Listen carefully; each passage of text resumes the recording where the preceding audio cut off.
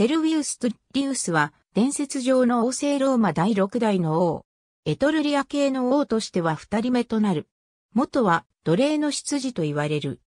しかしながら、ティトゥス・リウィウスは彼が奴隷の出自だったとは信じられなかったらしく、母親はエトルリア人都市の出自であったが、故郷の都市をローマ人によって陥落させられ、王の許しで王宮に住まうことが許された身であったと述べている。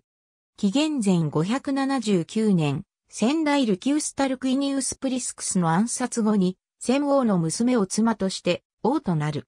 セルビウスはプレブスの承認なくして王位に就任した最初の王となり、王座には先王の妃の助力が大であったという。王となり、彼はウェイイ攻略、エトルリア人都市に出征を行う。また内政としては、ローマの領域を拡張、中でも彼の信仰するフォルツナ神、ディアナ神の神殿を多く建てた。またセルウィウスは、王政ローマの組織を大幅に変革した。彼は仮想階級のプレブスの支持を得ていたが、同時にその政策は既存勢力であるパトリキには人気はなかった。